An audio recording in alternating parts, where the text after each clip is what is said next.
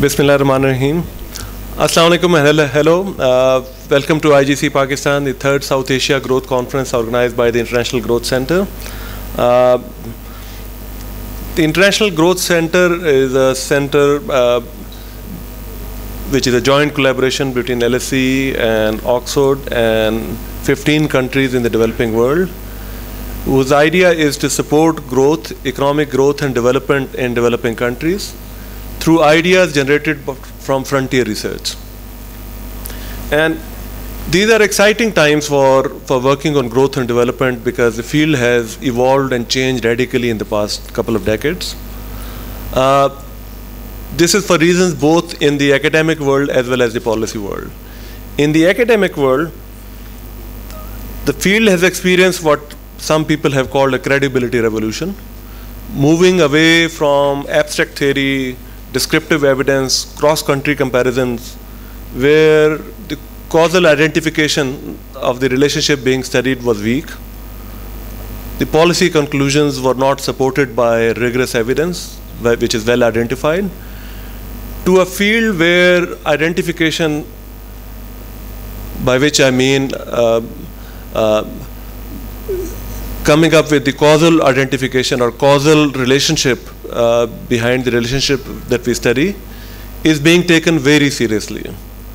Now it's almost impossible to get published in a journal without a very rigorous, a very scientific identification.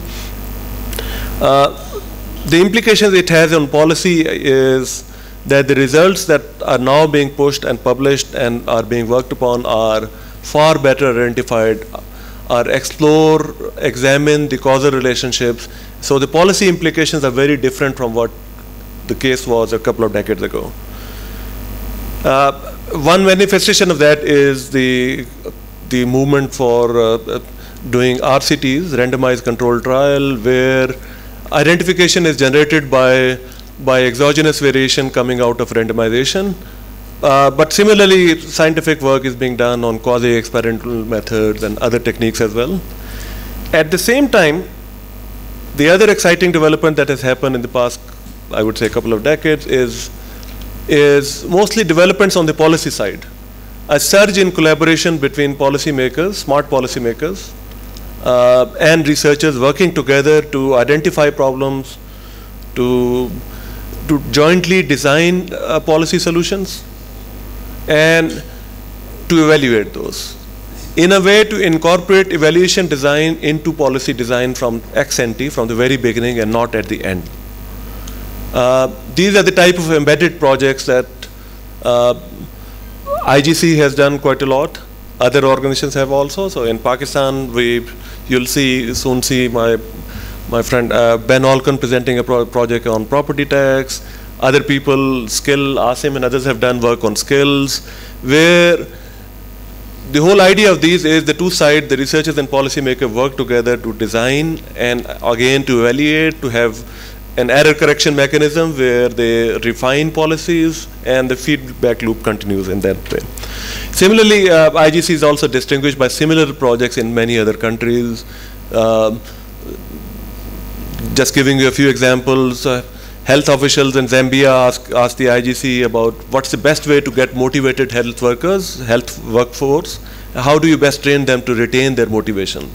So with the risk being once you start, once you enter into the public workforce, you lose your motivation. So how do you attract and recruit motivated people and how do you sustain that motivation?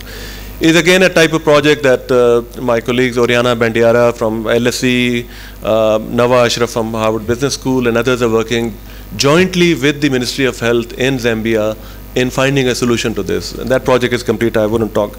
Similarly, Raj Chetty, uh, Monica Singhal, uh, Mushfiq uh, Mobarak, uh, some of the top names in public finance literature are working with the National Board of Revenue, the FBR of, of Bangladesh, in finding out why firms don't get registered in uh, for sales tax and VAT, and exploring ways in which you could use not just the carrots but, but also sticks.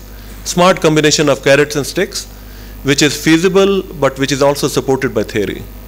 Uh, we also have people in the audience here. Uh, uh, Professor Rema Hanna from Kennedy School, um, uh, other people, uh, Ben is also looking, uh, Eric, uh, and other people who are looking for, uh, Michael Callen I see, and other people who don't come to the field with fixed ideas of here is what I want to do, and I am looking for partners who will just implement what I do.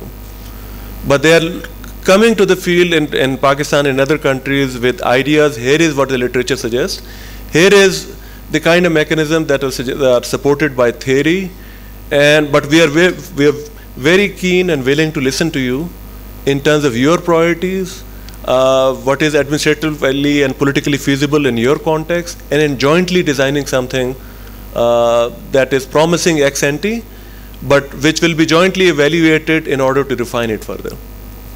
That's something unique that has not happened in, uh, in both the policy and, and uh, academic world before. So this is like bridging the knowing and doing, doing gap. Uh, and there are many people in the audience who will be looking for such opportunities in Pakistan and other countries. I'll end up with the with with a caveat on on the space for these embedded projects, which is very exciting, very interesting, uh, but at the same time, um, it is also very challenging in terms of managing the expectations of both sides. In terms of academics, the expectations to be managed are it's not just the end result that comes after uh, three years or five years, the final paper that comes uh, uh, uh, that is important, but also what goes on in between, the policy products, the, uh, the process of consultation with the governments, uh, the products that come in the middle are as important for, should be important for academia, but also for policymakers and others. It's not just the end goal. For the government, it's challenging in in uh, liaising, in working with a group of researchers who are not motivated by money, who, are, who have other career concerns, who are, uh, but at the same time, uh, who are interested in working with deeper structural issues and not just the symptomatic issues, uh, but who at the same time will never become, although will be working on other issues rather than their end paper, but will never become the full service providers in the sense that they will uh, they will cater to all policy needs that the policymakers want. So for the donors and consultants in the room, if there are any, so their job is not at risk. Uh, there'll always be a need for technical assistance and other things that that uh, the academics will not be interested or are not in, a, in the best comparative advantage to do. So the best comparative advantage for uh, academics is is generating new ideas. So smart ideas come from policymakers, smart politicians and other people. The comparative advantage of academics is in testing those ideas, refining those, and coming up with rigorous ideas that have been, or been tested and become generalizable knowledge that can be taken to other contexts. Uh, I'll end here, and I'll now